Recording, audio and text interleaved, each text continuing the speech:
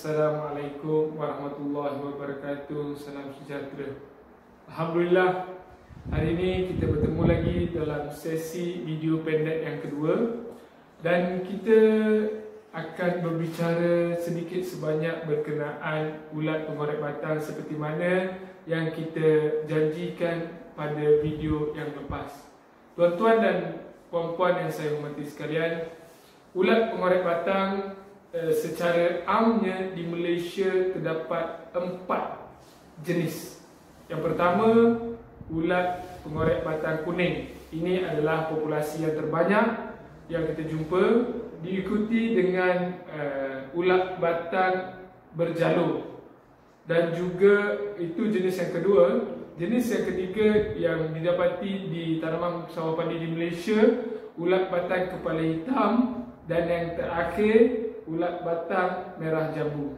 Tuan-tuan dan puan-puan yang saya hormati sekalian, ulat batang ni bila berlakunya serangan di peringkat pertumbuhan awal pokok padi kita, ia akan menjadikan simptom mati anak, dead heart. Tuan-tuan boleh tengok uh, daun yang kekuningan seperti simptom mati anak. Dan bila berlakunya serangan peringkat tangkai, peringkat pembentukan tangkai, Tuan-tuan boleh nampak kesan ulat pengorek batang ni seperti uh, whitehead ataupun bulu ayam.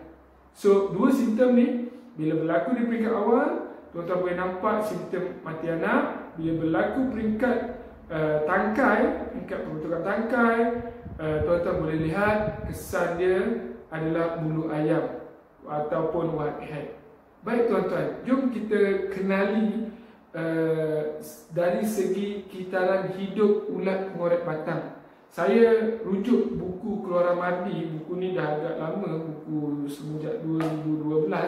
Tetapi secara generalnya, secara uh, uh, general ulat pengorek batang ni mampu hidup uh, dalam empat fasa utama selama 50 ke 55 hari. Yang di mana pada fasa kupu-kupu dewasa ia memakan masa 4 ke 5 hari diikuti di peringkat telur yakni kosong ke 5 hari. Setelah itu di peringkat ulat ataupun larva dia boleh hidup kita dah hidup dia selama 30 ke 35 hari dan juga fasa terakhir fasa pupa adalah 7 ke 9 hari. Secara keseluruhannya ulat pengorek batang ulat pengorek batang hidup Uh, kita nak hidupnya adalah 50 ke 55 hari. Jadi tuan-tuan, apa yang menarik mengenai ulat batang? Saya fokuskan spesies ulat batang kuning. Scaphophagus incertulus. So, ataupun lebih dikenali sebagai walker, ulat batang kuning ni. Yang menarik, saya rujuk buku Mardi ni, ulat pengorek batang ini sangat aktif, kupu-kupu dewasa dia, ulat batang ulat batang kuning, ulat pengorek batang kuning dewasa ni sangat aktif di waktu malam. Dan betina dewasa akan bertelur di atas daun dan setiap ekor berupaya bertelur sebanyak 200 ke 300 biji dalam tempoh dewasa yang saya cerita tadi. Eh, dalam tempoh 4 ke 5 hari di peringkat dewasa dia mampu bertelur 200 ke 300 biji sepanjang hayat hidupnya iaitu 4 ke 5 hari. Dan tuan-tuan boleh tengok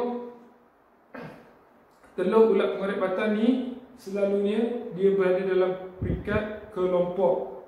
Satu kelompok lebih kurang 80 ke 150 biji telur.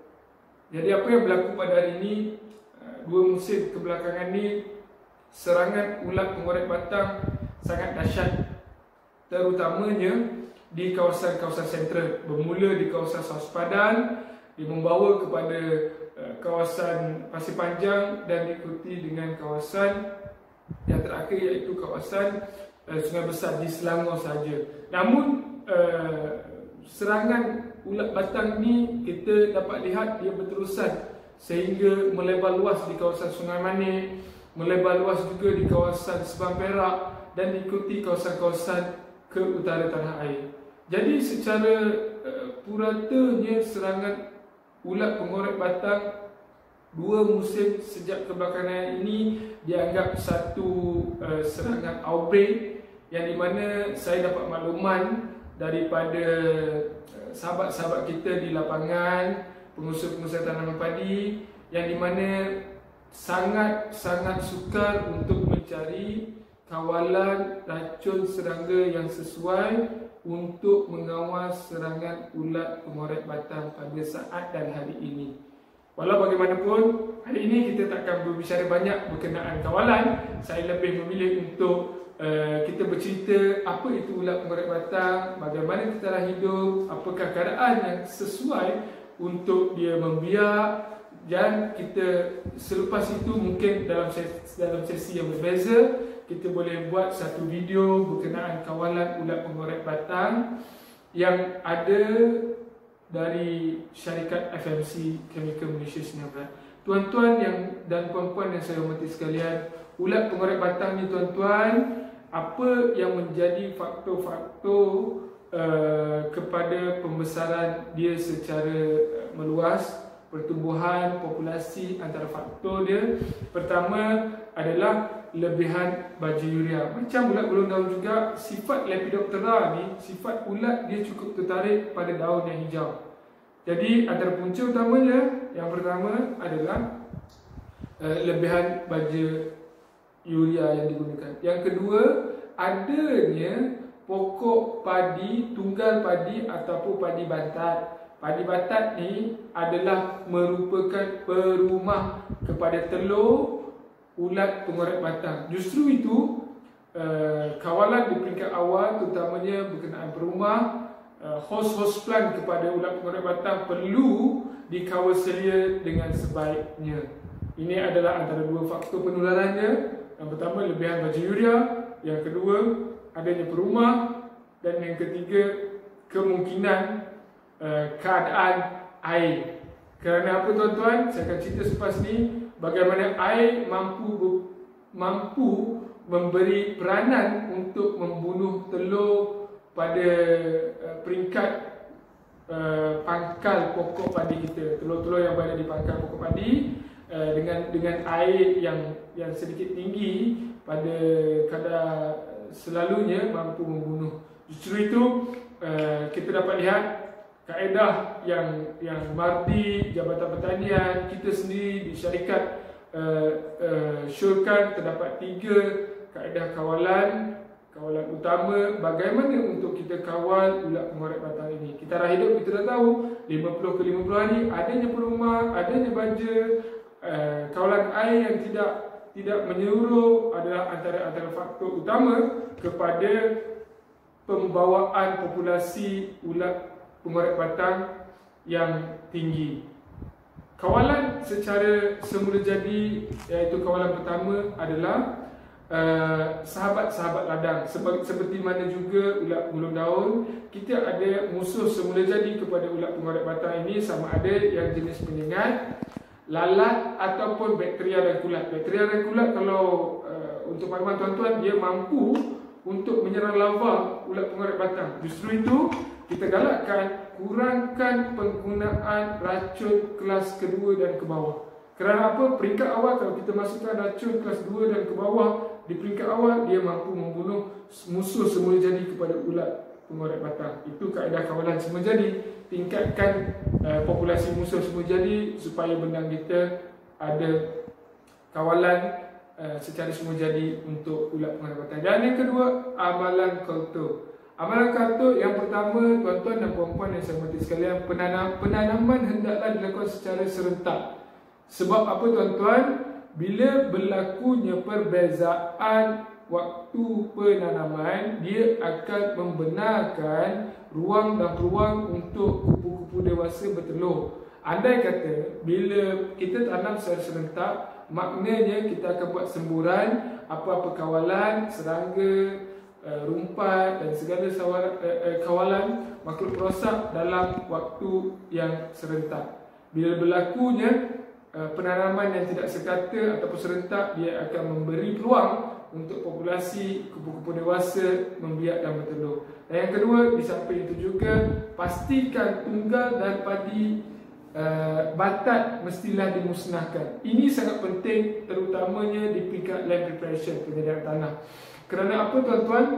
Kerana uh, bila adanya host plant, dia bukan saja menggalakkan pertumbuhan serangga dan ia secara langsung maupun tak langsung membiarkan pertumbuhan-pertumbuhan patogen yang yang yang lain seperti kulat, bakteria dan sebagainya.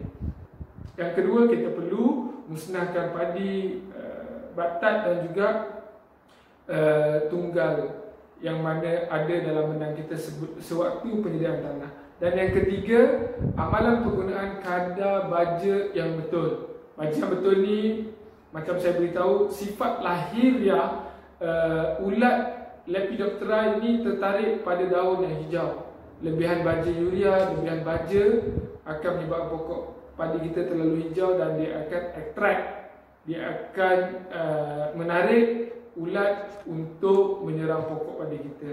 Dan seterusnya amalan secara kultur, amalan secara kultur, cultural practice adalah uh, kita digalakkan memasuk air um, sewaktu membajak ke dalam sawah kita kerana apa? Masuk air sewaktu membajak selepas pendirian tanah tuan-tuan dah, dah, dah, dah bersihkan uh, padi batat dan juga tunggal masukkan air sewaktu membajak dia mampu membunuh larva dan pupa. Bila masukkan air mampu membunuh larva dan pupa di peringkat membajak. Dan yang terakhir tuan-tuan uh, aras air juga boleh dinaikkan sedikit sewaktu uh, selepas baja untuk membunuh telur yang berada pada pangkal pokok padi. Ini empat kaedah untuk amalan kultural, yakni amalan kultur. Bagaimana untuk uh, mengawal ulat pengorek batang. Dan yang terakhir sekali tuan-tuan dan puan-puan yang saya hormati sekalian adalah kaedah racun serangga. Kaedah racun serangga seperti tuan-tuan maklum, kita syarikat FMC kita ada satu bahan aktif yang terbaik untuk mengawal Lepidoptera terutamanya ulat pengorek batang dan juga ulat bulu daun. Bahan aktif itu adalah chlorantraniliprol. Uh, formulasi kita ada dua formulasi untuk padi. Semalam saya sebut tiga.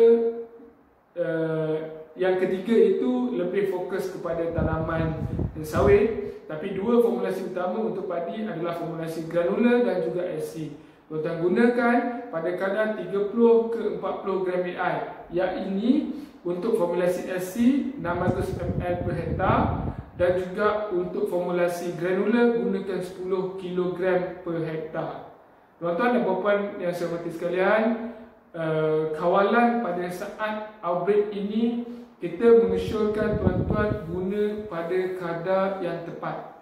Pada kadar yang tepat yakni kadar yang disyorkan oleh syarikat dan pengeluar-pengeluar racun-racun kimia. Saya juga berbesar hati sekiranya tuan-tuan ada permasalahan berkenaan ulat pengorek batang, tuan-tuan boleh berhubung dengan kami.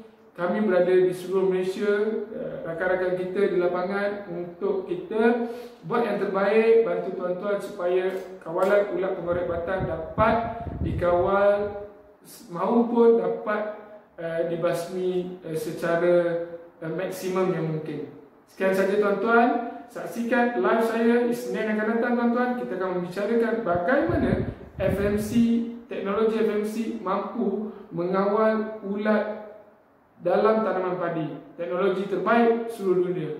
Sekian saja untuk kali ini tuan-tuan. Wabillahi taufiq wa hidayah. Wassalamualaikum warahmatullahi wabarakatuh.